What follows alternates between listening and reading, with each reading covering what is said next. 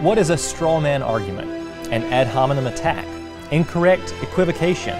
We'll find out how top proponents of evolution use incorrect facts and misleading logic to deceive. Right now on Wonders Without Number.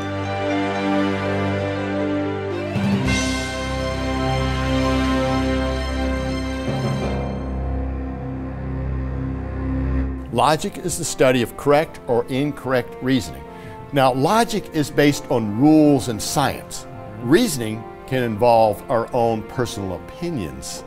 That's the difference Oh. between the two. Okay. But logic is based on good sound principles, good sound rules and regulations there. There's a difference. Hmm. Logic involves the use of arguments such as a chain of statements where we have one or more premises mm-hmm. that leads to a conclusion. Ad hominem. In Latin, it means to the man. In other words, they're taking the argument to the person, not against the information or the claim. Why should science journals give space to intelligent design or any other crackpot pseudo theory? Mm-hmm. Rather than trying to refute the scientific evidence, they're just going to resort to name calling. Equivocation. The science we use to put men on the moon is the same science we use to study evolution and the origin of species. well, the science we use to put men on the moon is observational, repeatable science. Yes.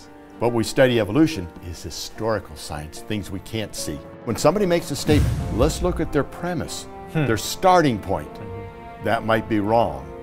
Therefore, the conclusion could be wrong. And we see that a lot in evolution. Yes, we sure do. And in the statements made by evolution. So why should we learn about logic again?